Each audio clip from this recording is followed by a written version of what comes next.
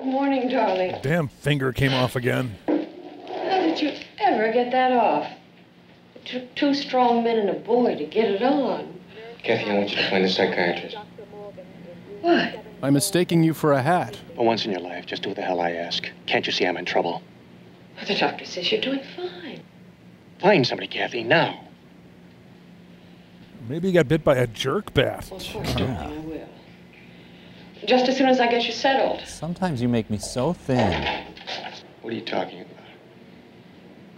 In the motel. They won't let me leave, Kathy. Didn't you talk to the doctor? He says you don't have to stay here. I've already signed you out. But I like it here. I love the pudding. I, I think I should stay close to the hospital for a while anyway. But there's no reason. I want to. Isn't that reason enough? Yeah, back in the days when you could check yourself in and out of the hospital willy nilly. Okay. Mm-hmm. So I'm lifted and separated for no reason. Clark, report to surgery. Dr. Clark, to surgery. No. I need $7 for the copay. It's not okay.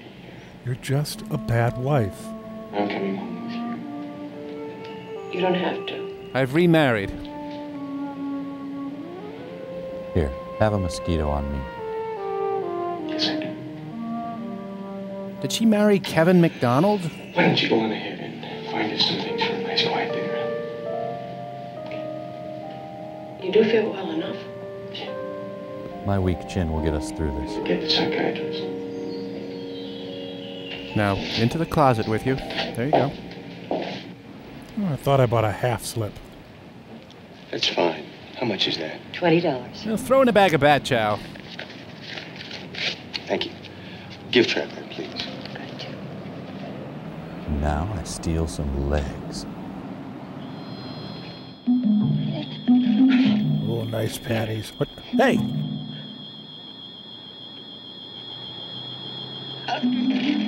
Uh, sir, this is a non-convulsing zone. Gonna have to ask you to take that elsewhere. I'm Sheriff Character Actor. You all right, Doctor? I am now. Hmm. Sergeant Ward, Sheriff's Department. I'm not a bat. I mean, uh, How are you feeling, Dr. Beck? I'm fine. How did you know my name? I've been following you, Doc. Just missed you at the hospital.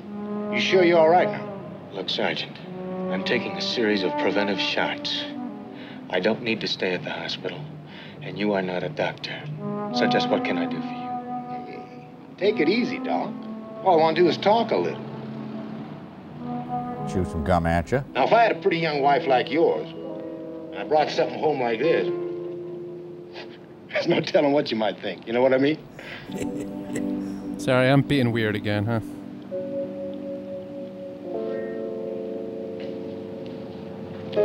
You uh, got something sheared from a deputy? You got a beating area, man? Is this your hand?